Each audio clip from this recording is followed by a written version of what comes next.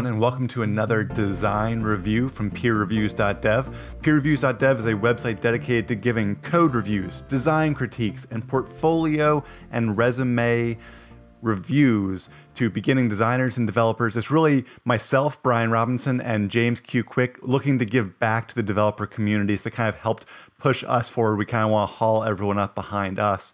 So if you are interested in getting a design critique, a code review, or a resume review, head on over to peerreviews.dev. And from there, you can navigate on over to our request a review contact forms. Fill this out. It's going to go directly into a Trello board that James and I are keeping of every single person that is submitting a review to us. And we're keeping a, a schedule. We're going to hopefully release them uh, every every week. New reviews will come out, uh, probably multiple reviews every single week. So be sure to go ahead and go over and fill out that form and let us know if you want a review as well.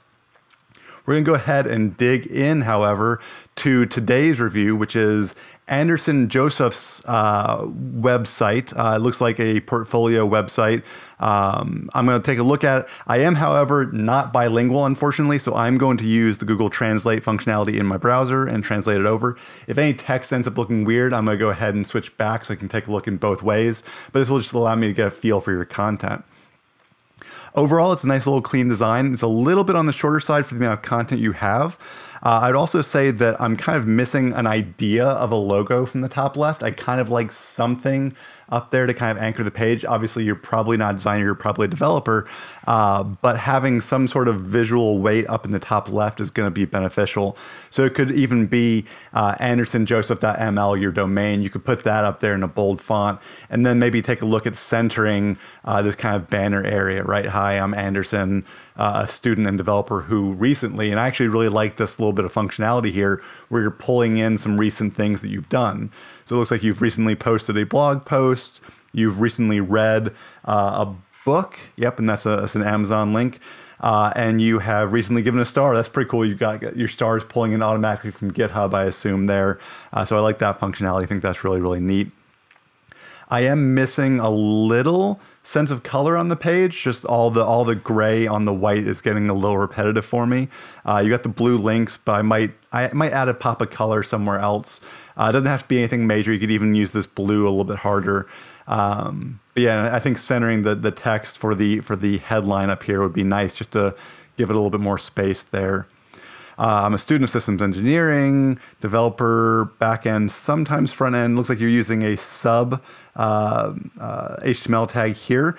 I might look at seeing if you can get that back up into the uh, into the main line of the text. You might be making a joke here about how like you know front end can be a little twitchy. I'm not sure.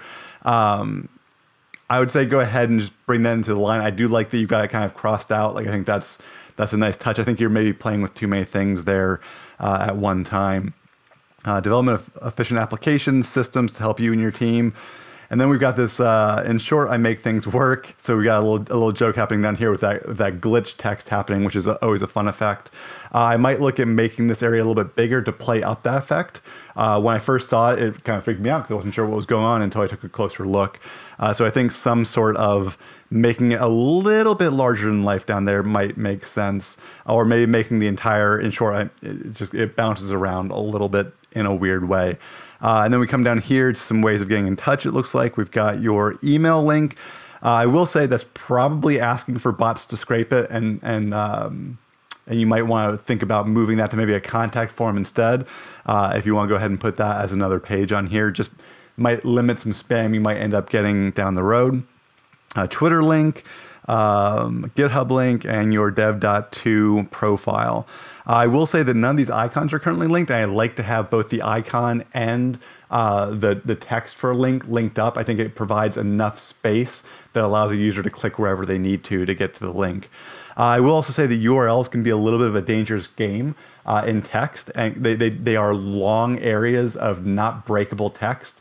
So you're either going to want to use a word break kind of functionality down here, or maybe just move it to your handles, right? So Twitter would just be like at symbol Arrogander, uh, GitHub could just be Anderson Joseph, and then dev.to could be just Anderson Joseph. Just, uh, just have the usernames down there, and you're going to run into uh, fewer issues long term with the length of those lines. But yeah, overall, uh, quick hit kind of homepage. I like that.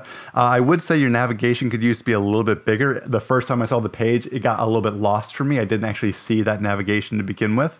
Uh, just a, it needs to pull a little more focus up there just so I know where it is. I like to be kind of reassured about how I'm going to navigate. Uh, so we'll go ahead and go on over to the About Me page.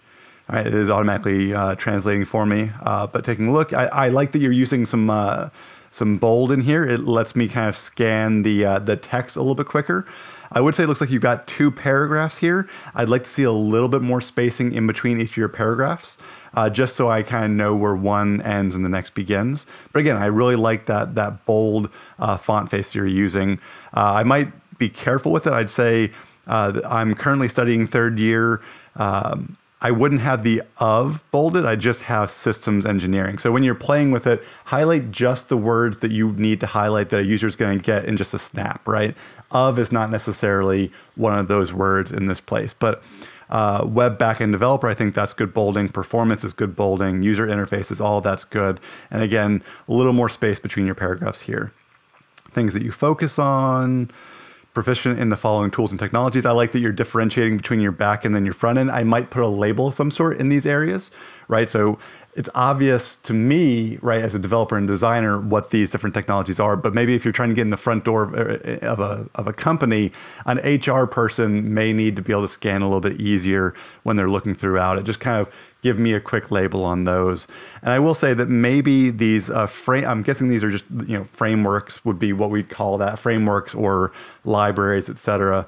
Um, I don't know that they need to have this kind of color coding. I might just make them static text or bring in the actual logo treatment for them as well. It's a lot down there, so you might think about maybe just a bolded link list of links instead.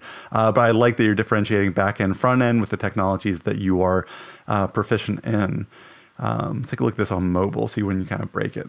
Okay, one thing to note when we go down to mobile here is I would take a look at the way you're doing your centered column here.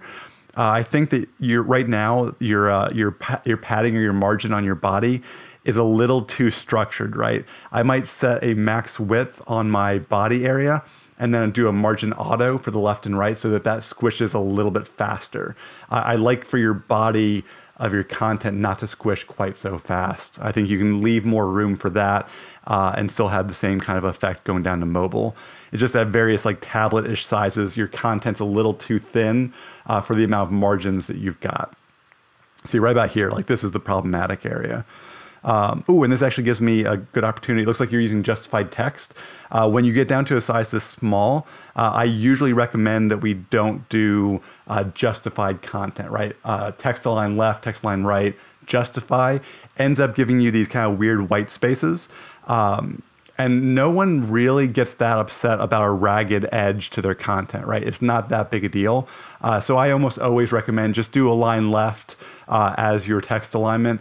Uh, the, the nice clean lines is something to strive for, uh, but the weird gaps in your text are almost always going to come in. And I think that in, in the end, the readability is better with a ragged edge than with text align justify. Uh, but overall, I, I like it. Uh, I might put a little bit more spacing in between these two boxes for your back end front end. Uh, just a nice little little margin in there. Uh, maybe give a little bit more room between your back end and front end and your frameworks as well. Let's take a look at your projects page. All right, we got kind of a simple card style. Uh, I wouldn't mind seeing them go like two across, do like a, a little simple grid there. Uh, but I like your detail expands. I think that's nice. Uh, looks like you're using them for the technologies you used. Uh, so let me kind of look at all these. Yeah, I might instead of calling them details, I might call them technologies used or something like that, just to give uh, everyone an idea of what they're about to get when they click on it. Uh, I wouldn't be against this amount of content just being out in the open either. I don't think it's too long.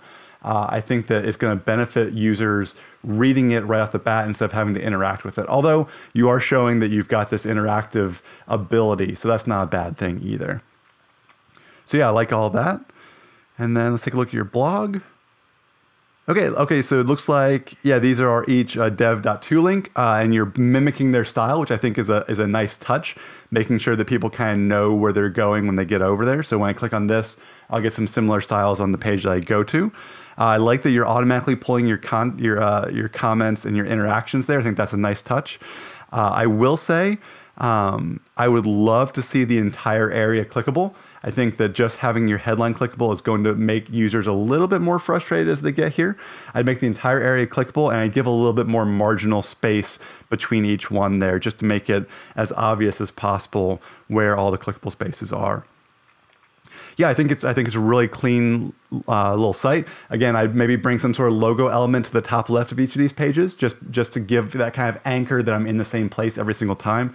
Doesn't have to be anything major. Just do a nice type treatment around your URL and uh, andersonjoseph.ml. Just put that up there. Maybe a 24, 32 pixel uh, size font up there, maybe a bold weight, and that's going to take care of a lot. Maybe even put that in a color, and that's going to give that pop of color that I was looking for on the other pages.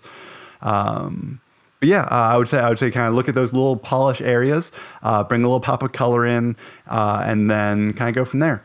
So I, I, really, really appreciate you sending your site in, Anderson, and I hope that you take something away from this and you can implement some of these pretty quickly. Uh, again, if you're interested in a uh, in a design review like this, please, please, please go on over to peerreviews.dev. And from there, you can fill out that contact form. And you can also take a look at all the other uh, design, code, and, pres- uh, and resume uh, reviews that James and I have done over there. We're building up a library. I think they can be very, very useful to a lot of people. Uh, so again, peerreviews.dev. And while you're here, if you're on uh, YouTube, be sure to click that uh, that like button and that subscribe button down below. If you're on dev.to, go ahead and click that little heart button down below, and be sure to follow my dev.to account as well. So with that, I'm gonna go ahead and bid you adieu, and I will see you on the next design critique. Thanks very much.